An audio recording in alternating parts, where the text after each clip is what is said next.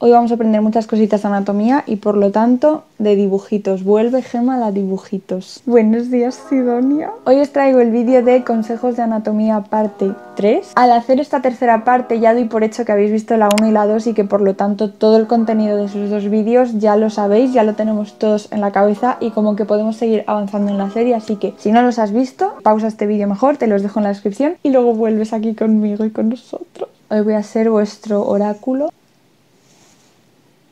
Sabéis que mis uñas cambian de color. Antes de empezar con este vídeo os voy a dejar mis redes sociales como siempre, donde más activa estoy siempre es en Instagram, ya que este vídeo es de dibujo, también os dejo mi Instagram de dibujo.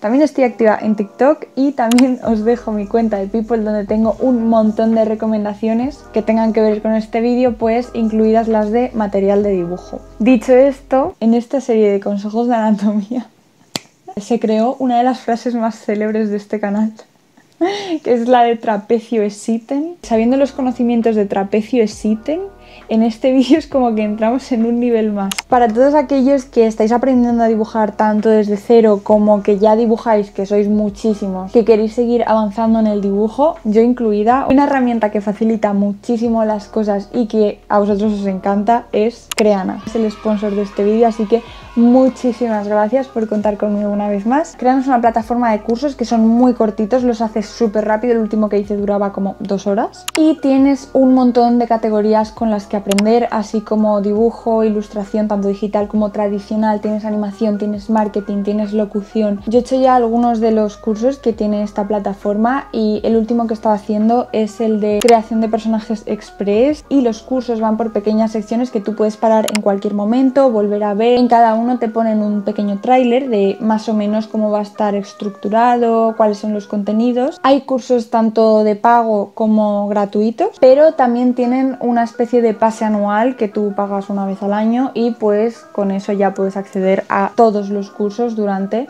la duración de un año. De verdad que yo estoy súper contenta con esta plataforma y os traigo una sorpresita. Os voy a regalar un curso a 500 personas. En la descripción os he dejado un link que solo vale para los 500 primeros que entréis desde el momento en el que estáis viendo esto con el descuento que os dejo eh, aquí abajo que es el código de GEMA 20 pues podréis acceder a cualquier curso el que queráis totalmente gratuito yo os dejo todos los links en la descripción y ahora sí que sí vamos con los consejitos de anatomía. La proporción de los ojos en un ser humano suele ser que dentro de tus ojos debería caber otro ojo. Hay muchos seres humanos en el mundo, sé que no en todos los casos es así, pero lo estándar suele ser eso, que la proporción sea un ojo dentro de los ojos. Los creadores de personajes suelen tender a agrandar esta proporción y que por lo tanto entre los dos ojos no quepa un tercero porque suelen ser mucho más grandes. No suele ser siempre así, de hecho hay muchos ejemplos de personajes que tienen los ojos súper pequeños y súper separados y por proporción entre los ojos cabrían pues otros dos o incluso tres. Tú primero apréndete como esta noción básica y ya después defórmala como quieras. Vale, segundo consejo de anatomía. Bueno, yo ahora mismo tengo el flequillito y no se ve bien, pero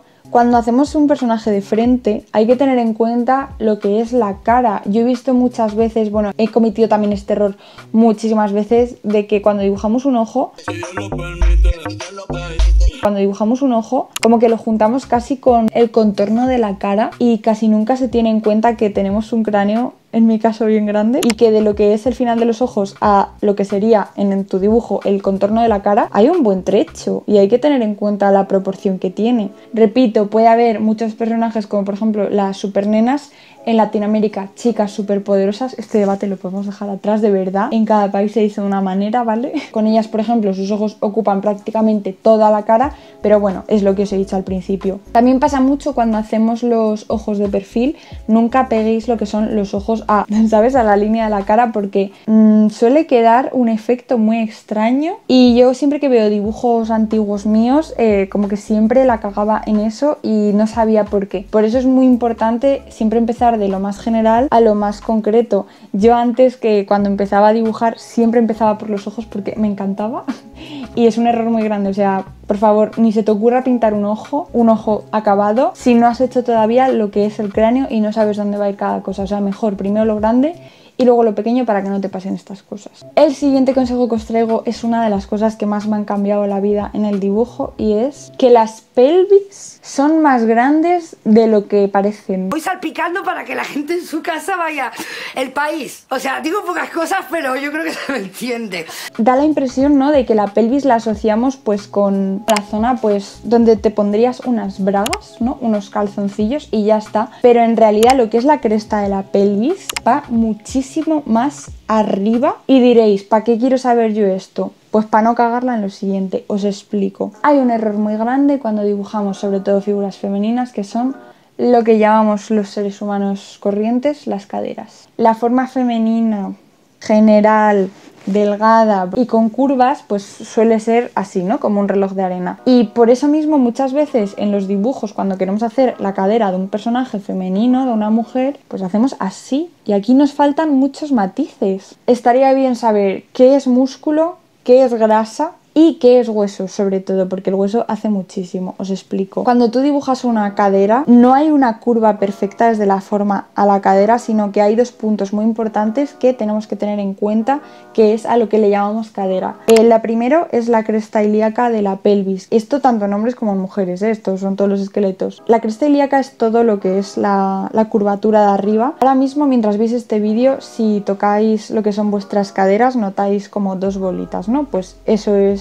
la cresta ilíaca. Hay otro punto muy importante del que todo el mundo se olvida, que es el fémur y la parte que sobresale bajo la cresta ilíaca se llama trocánter mayor. Da igual si la persona que estás dibujando es gorda, delgada, eh, hombre o mujer, porque para todo eso ya tienes que tener cuenta los músculos, cómo son los glúteos, cuánta grasa acumula. El hueso lo tenemos todo el mundo. Da igual cómo seamos por fuera, cuánta grasa tengamos, cuánto músculo tengamos, que el esqueleto va a ser el mismo. El mayor del fémur y la cresta ilíaca de la pelvis van a estar siempre ahí. Así que si tú lo que quieres hacer es una cadera, digo femenina por eso, porque siempre se suele cometer el error de hacer esto y ya está. Si tú quieres hacer algo como más accurate, primero tienes que tener en cuenta eso, eh, lo que son las bolitas que hacen la cresta ilíaca, después el trocánter mayor del fémur y ya después volver a la pierna que en ciertas posturas sí que es verdad que obviamente no se nota, no se aprecia. También yo que sé, si eres Kylie Jenner y te has operado el culo,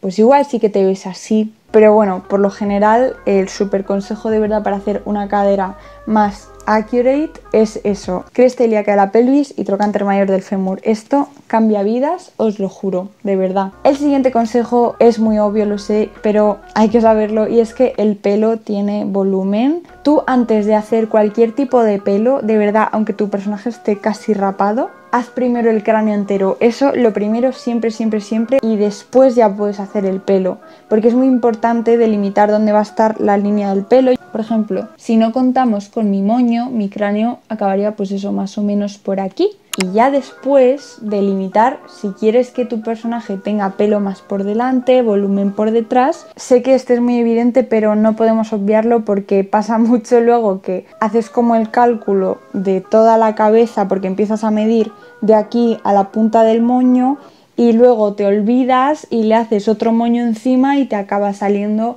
pues un alien, que es lo que te va a acabar saliendo. Bueno, el siguiente consejo es muy importante y este me suena que lo he mencionado en algún momento, no sé si en el primer vídeo, si es así lo siento, lo volveré a repetir, porque es que se me olvida. Cuando haces a alguien, sobre todo de perfil, o al menos que se le vea la oreja, es muy importante dónde acabar tu mandíbula. Suele acabar siempre en el principio de la oreja. Que todos los que sabemos este consejo es como pero si tengo un espejo, obviamente. La línea de la mandíbula siempre va a acabar donde empieza la oreja. No sé, eh, mm, al menos mis primeros dibujos y los de mucha gente, cuando hacemos esto es como... no, pero de verdad es que es súper útil este consejo, sobre todo para hacer gente de perfil. Pues bueno, pues pues eso es lo que os tengo que decir. No sé qué os han parecido estos consejos de esta tercera parte. Si queréis una cuarta parte, comentádmelo aquí abajo. Pero esperad, este vídeo no ha acabado trapecio existen y os voy a explicar por qué. Voy a mandar los saluditos de este vídeo. El primer saludito que traigo de todo mi corazón es para Axel Sancho. Axel Sancho,